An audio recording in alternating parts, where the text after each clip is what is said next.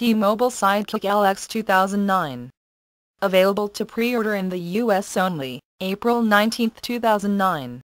The T-Mobile Sidekick range has been a huge hit in the US over the years, but the few Sidekick devices that have made it to Europe have usually flopped. The problem with the Sidekick is that even though they packed a useful QWERTY keyboard, generally they were fairly low specification devices that were also quite bulky.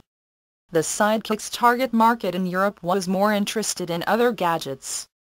Well, just perhaps the new T-Mobile Sidekick LX 2009 might change things a little. One of the main features is the large 3.2-inch 854 by 480 pixel display, plus GPS, a 3.2 megapixel camera with geotagging and 3G support.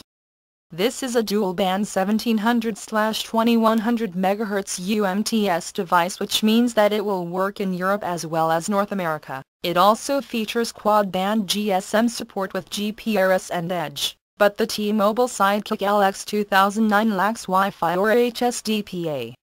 The display isn't touch-sensitive, but it is ideal for web surfing and the T-Mobile Sidekick LX 2009 supports social networking sites such as Facebook, Twitter, MySpace and YouTube. This is pretty much in line with the Sidekick's youthful target market. The large and well-spaced QWERTY keyboard is another key feature that Sidekick fans will appreciate. The trademark swiveling display is back too, giving this latest Sidekick plenty of wow factor. At 165 grams in weight, the Sidekick LX 2009 is fairly heavy, but with an excellent display and useful keyboard then it seems to be worth it. The T-Mobile Sidekick LX 2009 is available to pre-order now in the US. There is no news on any European release at present.